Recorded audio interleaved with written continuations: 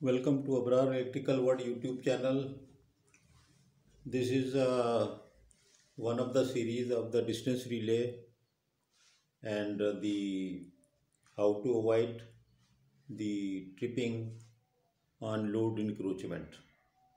That is the when the line is very heavily loaded, the current is increasing or has increased and voltage has dropped to a certain value then the line I had explained this line Zm which is measured by the relay reduces this vector of the impedance which is being measured by CT and VT here is reduced and enters into the highest zone of zone 3 which has the maximum reach of the distance relay. Now how to avoid this I have explained all this in various my videos and various type of characteristics are used. This is another kind of characteristic which is known as the quadrilateral. It is the shape which is a quadrilateral. This is a circular and a circle passing through the origin and the same this is the variation of this kind of relay which is known as the mho relay here. Now see if you look at this distance here the the point where Zm is touching the red circle is right here up to say um, uh, 7 millimeter.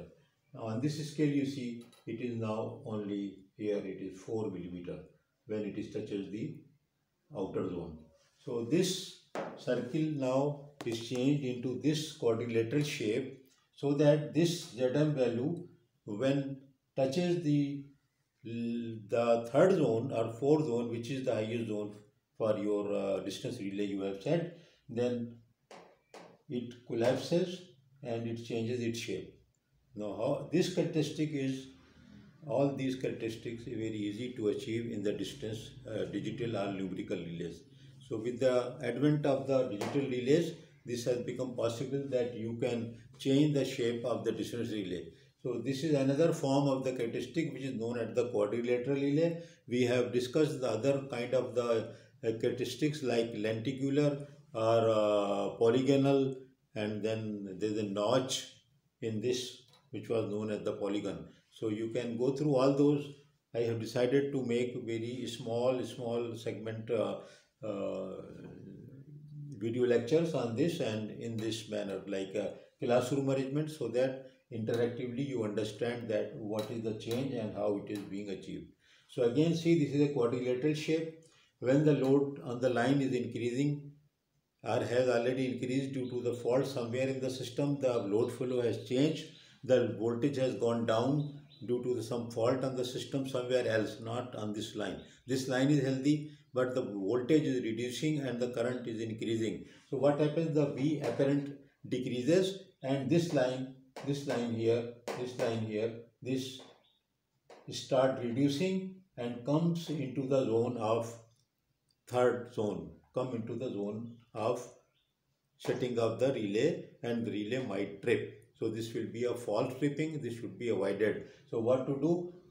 This By this characteristic lies the lenticular uh, kind of statistics. Again here the reach of this zone 3 has been changed when the relay sees that there is a reduction in the impedance and this reduction is measured by V or I. So there is this reduction in the zone uh, of the impedance is very fast in case of the fault because voltage collapses very rapidly and current increases to a very high value instantaneously in few milliseconds.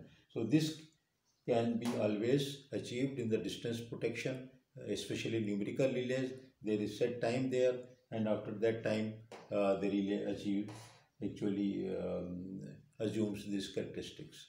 So i hope you will understand this. This is very easy and after this one uh, i will uh, go to the um, power swing blocking and before the distance relay i will again explain that what is, what is power swing blocking and then i will uh, cover the how to do power swing blocking so first of all, the first lecture after this will be the what is power swing blocking and I will explain to you with the help of same diagram which I have drawn in the power system stability of the alternator or the machine.